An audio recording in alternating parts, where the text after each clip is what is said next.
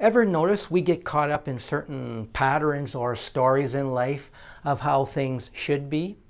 And when things don't play out or work out as we expect, this can become upsetting and frustrating.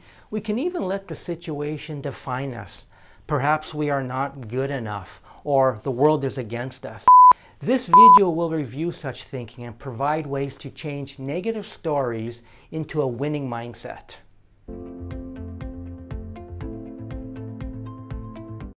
People tend to like things a certain way. If not, frustration and anger can be something that they experience. I saw this the other day when I went to pick up a delivery. I was looking at the place where the item was supposed to be.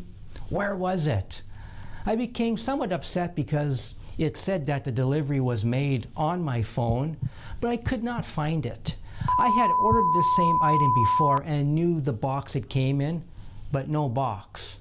I was ready to make a complaint. Where was my thing? Then I thought, before I make a complaint, I better go down again to take another look to be sure. I found the item. Then the light bulb turned on. Two things were new, the place of the item and the size of the box it came in. The package was huge versus small and located in a different area. The situation made me think about other past assumptions or ideas I had that were later changed. I would build up a picture in my mind of how something was to go, assuming it to be one way and one way only. But later, after the situation played out, I could see my thinking was wrong. And it stressed me out because my, you could say, my story of how it should have gone was incorrect. What about yourself? Think that something should be one way, only later to be shown something else? Do you think you should have known better or how stupid you might have been not to have seen that? Did the situation cause you to feel bad about yourself?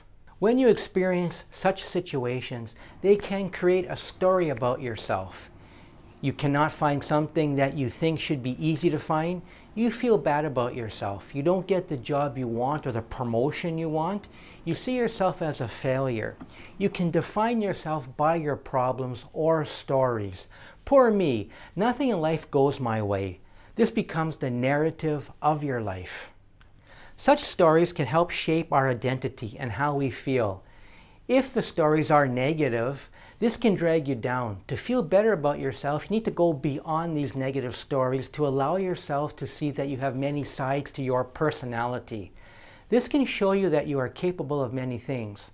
To start, you need to separate yourself from the problems or stories that define you. Ask yourself the following How does the problem affect my life? How does the problem impact my energy, my focus? What effect does the problem have on my family or work life? Is the problem acceptable to you or not? How would you like things to be? By answering the questions, you start to see the impact of problems on your life. You begin to see the problem is just that a situation or issue. It does not define you or say you are stupid or not smart. You need to reauthor your approach to problems. Create new stories to move beyond the current negative ones.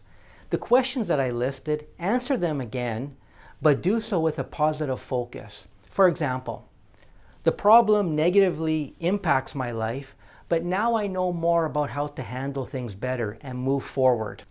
The problem takes a lot of energy, but I can effectively deal with it by solving it, thus getting back my power to put towards other things that bring more joy into my life.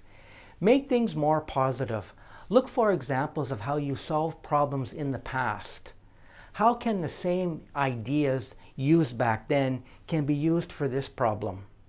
Seek to promote your goals, skills, and values in fighting your problems. What are your goals in life? List three or more. What skills do you have? List three or more. What are your values in life? List three or more. Putting things down on paper or a screen helps define who you are and what you wish to achieve in life. When confronted with a problem, you can reflect and see your skills and values and how they can help you overcome problems. For example, let's say you have excellent organization skills. Use them at work to help overcome, for example, uncoordinated efforts to promote the launch of new products.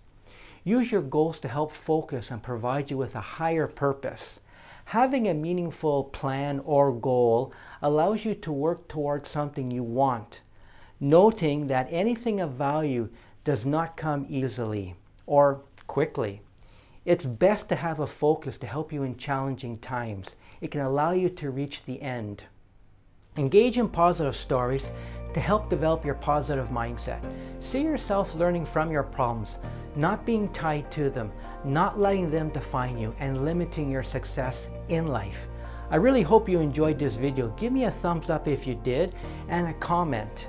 As always, wishing you a positive mindset and the best mental health wherever you are in the world. Until the next video, take care. Want more content on mental health? Have a look at this video.